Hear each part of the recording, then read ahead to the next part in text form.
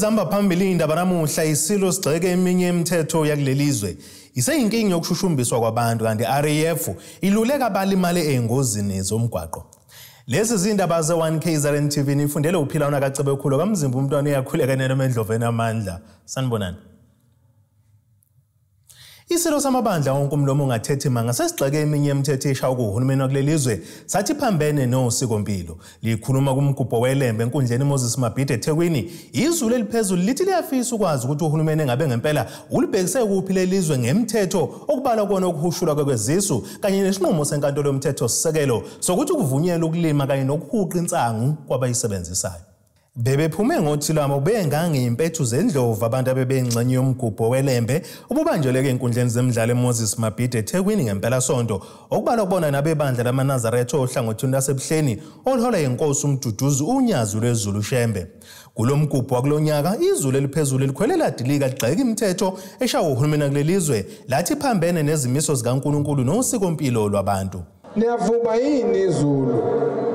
Ukuthi esikhundleni sokuhlonishwa ngokuthi nakhelwe izindlu ninikwe imisebenzi ninikwe imfundo engcono niqinisekiswe kunalokho ninikwa ilungelo lokubhema insangu ningafundiswanga noma nikhunjuzwa nokuthi abadala babeyibhema kanjani idlula emanzini uzihlanzeke umbuso njani odedela isidakamizwa kusho ukuthi abantu abathengisa idakamizwa uma ngabe umbuso omkhulu kangaka wase-south africa ukhuluma ngensangu ukuthi uyayidedela.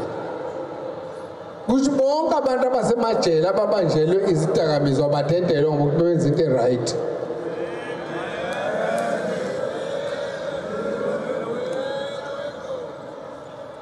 Abakhululi ngoba bebenza into e-right. Siyacela khabazela ngicela ungidlulisele khabazela ngiyabonga bakhona kwakho. Cela ungidlulisele kumongameli. Nakulawo majaji akwi-constitutional court. Ukuthi inkosi yami ngiyacela bangixolele lapha kwazulu ngensanga khona manje alongangezo lakho uphinde waveza nokuthi lo mgubho welembe ungobaluleke kakhulu ezizweni samazulu lathi lingathokoza uma kungaseke kubuyele kuyigama elidala lesifundazwe kuthiwe kukwazulu asuswe uNatal fisa ukuphinda nakulo nyaka njengoba ngasho eminyakeni emibili edlule kule nkundla ukuthi uma sibungaza ilembe noma imisebenzi yalo sisuke sibungaza nesizukulwane salo. Nokwabe kuyisizukulwane sabe siyikhethelo esasinomthetho lesi isizukulwane seyinsizwa zingamadela kufa abantu ababeyingxenye yokwakhiwa kumkhumbi wempi kaZulu ngaleso sikhathi kanye nesizwe. Uma siphetha lo mgubho ngiyafisa sizibuze ukuthi ngabe yini esizoyenza ukuvikela lokho okwakhiwa yilembe. Nesizukulwane salo esizayo njengoba thina sinikezwe inhlanhla uNkulunkulu ukuthi size sifinyelele kulesi sigaba seminyaka amashumi amabili sikhona singashintshile ukuthi singamazulu. Okubuhlungu ukuthi nje iprovince engabe engabe iyona eyiwuphawu oluhle kwathiwa yikwazulu natali. Kanti ungabe kuthiwa nje kukwazulu njengoba kwakushiwo emandulo ngabe kungcono kabi ngabe futhi ngabe kuhlonipheke kabi. Lo nyaka ngabe siwuvala kahle lo nyaka kakhabazela. Kona-ke lo mkhosi izulu eliphezulu likhulume ngokuningi lanxusa abantu ukuba babuyele ey'mpandeni zabo basiphathe kahle bayeke nokucekela phansi impahla uma ngabe kunembhikisho munye Oh, yeah.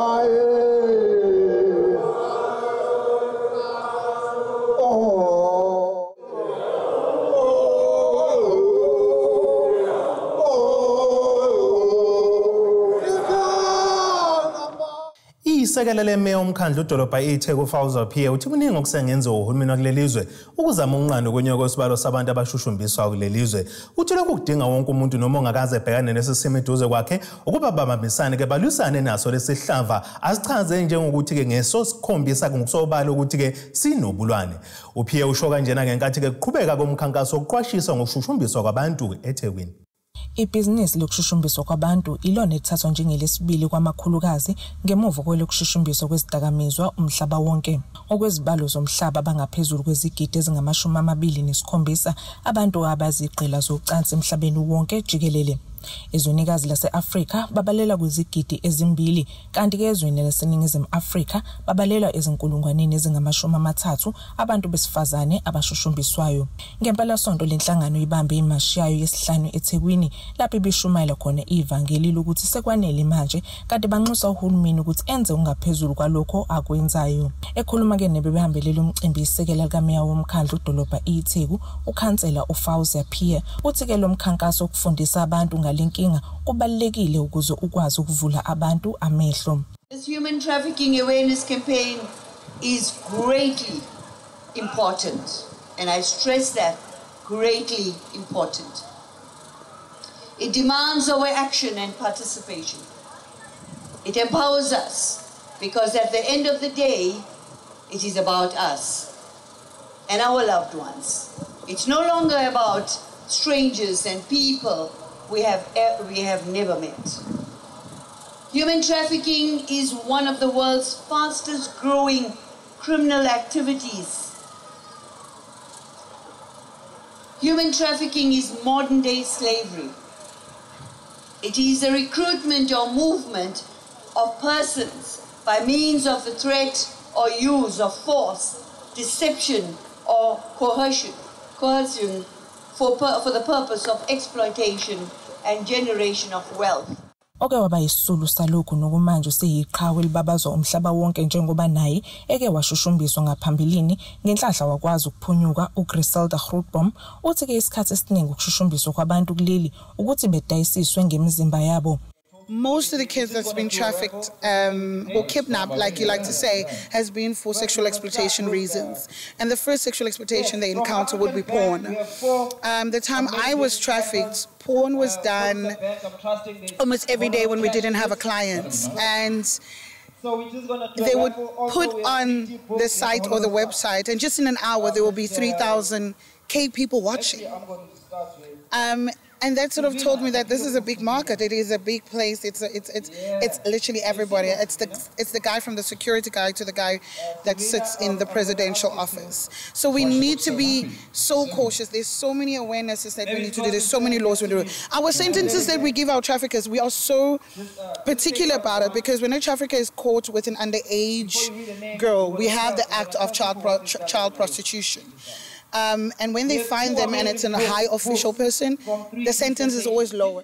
ezindabeni ze-1 KZN TV kube kunondumiso mlondo ngibe ngisethekwini Umphathi kwabesikhwama esibhekele ukunxephezela labo abasuke belimale ezingozini zomgwaqo i-Road Accident Fund ngaphansi kwesifunda iTheku nomkhosi Gumede usenxusa umphakathi ukuthi uma ngabe kufaka izicelo zokunxephezela zokubonelelwa ngenkece emva kwengozi yomgwaqo basuke bemandekanye kuyona ukuba kuzifake ngqo emahhovisini aso-ke lesi sikhwama ungasebenzisi iy'nhlaka zabameli. Ugumede usho kanjena ngenkathi-ke lesi sikhwama esinxephezela abalimale ey'ngozini zomgwaqo sihambeleke endaweni yasovongo ogwini oseningizimu nesifundazwe ikwazulu natal Ufikile nzima kwakwaXolo ogwini oluseningizimu nesifundazwe KwaZulu-Natal emavikini ambalwa edlule cishe wandulela kweliphakade kulandela ukuthi imoto abehamba ngayo ishayiswe yiloli lana ke uzoba ingxenye yokufaka isicelo sesibonelelo nkece kwa Road Accident Fund ukuthi uze ngqo kwa Road Accident Fund. Into eyenza ngisho njalo ingoba usuke uzosibambela ngesandla sakho isicelo sakho and uzokwazi nokuthi wena uyicheckele ukuthi sihamba sifike phi. Enye into futhi engifuna ukuyigcizelela njengoba ngithi abantu abayizele kuthina ngqo ingoba thina njengo Road Accident Fund mangabe sesikukhokhela asikho ayikho ipercentage yemali yakhe siyithathayo. Uma kunemali kumele uyithole uyithola iphelele injalo. So siyabanxusa ukuthi abantu beze kuthina bazoyifunela bona bayifake bangaphezulu kwamakhulu amahlanu abantu abathuthelene ehholo ovongo ukuzofaka izicelo abanye ke bazobheka ukuthi ngabe khamba kanjani ngesicelo ababesifakile. Phakathi kwezikhalo umphakathi ofika nazo kuhlanganisa ukuvaleka kwemali yabo ukungatholi ukufundiseka kahle ngokufaka isicelo njengoba kabanye baye basebenzisa abameli ngethemba lokuthi ke kuzoshesha nokuyilapho ke enye inkece igcina yehle ngomlenze kubameli. Kunkulumo ekhethekile abakwa Road Accident Fund ababenayo neziko lezindaba le1KZN TV baveza ukuthi kubalekile ukuzifakela ngqo isicelo ka Road Accident Fund ngaphandle kokusebenzisa abameli. Ngangiqhamuka komgwaqweni oqhamuka ngaseyingolweni. Ngako emadrayini kaka Ronaldo. Ngathi mangiqhamuka ngaqhamuka ngetruck. So i-truck mangiqhamuka ngayo ngathola ukuthi ikwilane yami isinqa sayo but aseyidlulile ngoba kwaku code 14. So ngeshwa ngabona ukuthi mangiziphosa ecaleni ngabona ogamtrini abakhulu abawu2 ngabona ukuthi kuzobe ngathi manje ngigejile iband mangiziphosa ngale ila ngizolimala kakhulu ngizitshela ukuthi udrive uyangibona kana akangiboni the time Abakwa Road Accident Fund bathi ke ngokomgomo wabo akumele kuphela iminyaka emithathu umuntu ofake isicelo sesibonelelo ngece engakayitholi. Ezindabeni ze1 KZN TV nginguBrighton Shandu eBoshepstein. Inkosi yesizwe amanyavu emkhambathini entshonalanga nesifundazwe KwaZulu-Natal Elliot Mdluli uthi inhloso enkulu yokuhlanganisa intsha ngezemidlalo kuyiluleka ngendlela okumele kuziphathe ngayo ikakhulukazi abafana njengoba sekudlange kakhulu ukusetshenziswa kwesidakamizwa iwunga ikakhulukazi kuyona intsha yesilisa. Umdluli uphinde waveza nokuthi lapha ke bafuna intsha yazi ukuthi kumele yenze njani uma ngabe ke isiyithola isikwezinye inkinga esiyigcile kuzona futhi uma ngabe futhi ifuna ukuthi ke iphinde futhi igcine iphile saka. Ukusho lokho ngenkathi ekhuluma ke neziko lezindaba enkulumo uhulumeni ekhethekile ku-1KZN TV phakathi wasenyanyava emkhambathini uphume ngobuningi bawo ukuzokethamela uphinde uzozibandakanya nezemidlalo ezihlobonhlobo ngenhloso yokuqwashisa kwentsha ukuba ingenzi izinto ezingalungile emphakathini ezifana nokusetshenziswa kwezidakamizwa. Inkosi yesizwe sasenyanyavu ithi intsha abafana kakhulukazi nayo iyakudinga ukukhuliswa kungagcini ngokukhulisa abesifazane nje kuphela. Phela ugcina sikhulisa amantombazane eh siwakhulisele imidlwembe abafana bangakwazi ukuyiphatha sithi bazokwakha nabo imizi awukwazi ukwakha umuzi eh kuuhlangothi olulodwa oluphilayo mhlawumbe sizama ukuphilisa inhlangothi zonke. Njengoba sila namhlanje ngijabula kakhulu ukuthi ngiyababona bakhona bangithe mangabe ngimemeza base bayasabela ukuthi nje sizohlaba ikhwela lokuthi hayibo intsha ayiphathe kahle. Eh benze konke okufanele bakwenze. Sizobakhulisa njengama baba madoda akushasa kungabi nje eh senza ukuthi kube khona igebengu endaweni ezonukubeza izingane zethu. Eh silwa kakhulu nalo lubhubhane oselukhona manje lwehunga. Lapha ke intsha ibiyenza imidlalo enhlobonhlobo okuhlanganisa ukwesikepe ifun walk kanye nokunye okuningi. Abesifazane abafana babuthene ndawonye ukulisana nokuthi ngasiphathi kahle kwentsha. Nekhansela la kuwadwan ngaphansi komasipala wasemkhambathini likushayele ihlombe ukusingatha kwalemidlalo kwazise intsha ithola ithuba lokululekwa abadala. Usuku namhlanje ukuthi sibusele izimilo kubantu abasha. Siphinde sibatshele imvelaphi yomuntu omnyama ukuthi umuntu omnyama usuka kuphi yiphi yiphi impilo efuna iphile umuntu omnyama. Nanokuthi yiphi indlela yiphi indlela abantu abasha esibheka ukuthi baphile ngayo nendlela kumele bayiphathe ngayo ukuze nabo bakhule baguge babe njengabantu abadala. Ezindabeni ze-1 KZN TV ngingosamukethiswe Nqulunga bengase Scottsville ake sibheke engosini yazomnotho. Iranda kuleli biza u-14 rand 85 cents uma liqhathaniswa nedola lasemelika. Bengu-19 rand 45 cents kupondo wasebhrithani libe ngu-17 rand 8 cents kwi-euro yaseyurope kanti intengo yegolide ime ku-1196 dollars 70 cent i-ounce. Kuthi intengo kwalo ngahluziwe yona. Ibe ku ake sibheke engosini yezemidlalo. Sizwelile isigwebo ke sinikwa amakhosi impofana abafana bokuthola noxolo eKaizer Chiefs. Sokudlala ke imidlalo emithathu ibukwa zihlalo ngenxa yesigameko esenziwa abalandeli bayo ngenkathi beshisa ke inkundla Moses Mabhida emva kokuhlula kuyala kodwa iFree State Stars kumqhudelwane weNedbank Cup. Ngempela sonto ke iChiefs ithole ke isibhacu ke segoli ke lilodwa ke eqandeni ishawa ke yiqembu lephulukwane City. Ake sibheke isimo sezulu esingalindeleke osukwini lakusasa. Zangoma zezulu manje zisekaza ngamashobo enkokono ushaya phansi ngonobhadula zengayile ukuthina kancane imbumba zithi empangeni lizobe lishisa likhipha umkhovetsheni amazinga okushisa u17 ku28 degrees eThekwini. 18 kuya ku-25 degrees emgungu udlovodwa ongazibomvu u-13 kuya ku-31 degrees. Ulundi nakwanongoma u-13 kuya ku-29 degrees. Exobhe nematente kulamabhenanyawo 11 kuya ku-29 degrees. Siphethe ngefilidi newcastle emadadeni nasentshenteka u-11 kuya ku-26 degrees. Ninabakandi abomuhle ohlasela ngothando lokandisa abakamthaninya abanye behlasela ama-ak 47 nginguphilani kamzimba uyidelile kubafokazana cebe khulu khumu.